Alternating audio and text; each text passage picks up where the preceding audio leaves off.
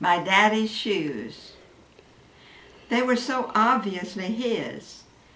The leather model to his instep, the frayed stitching across his long big toe.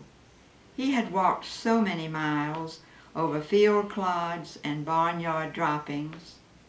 The shoes were a weather report, muddy in inclement weather, dusty in summer dry spells.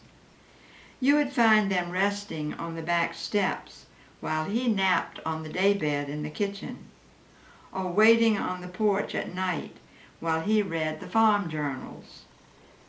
In daylight, these shoes stepped up to drive the new red tractor, or the combine no one else could afford to buy. They bore his weight as he squatted beside a neighbor's truck, discussing crops, rainfall, markets, what fool had overplanted watermelons.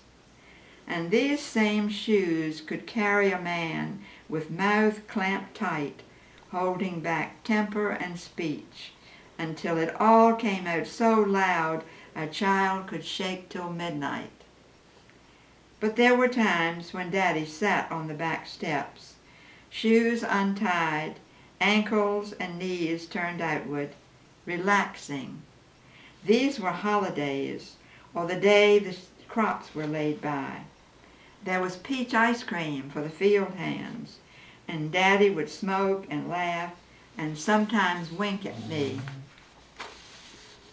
From time to time I see shoes that could be his, but I see no other man who ever walked like he did.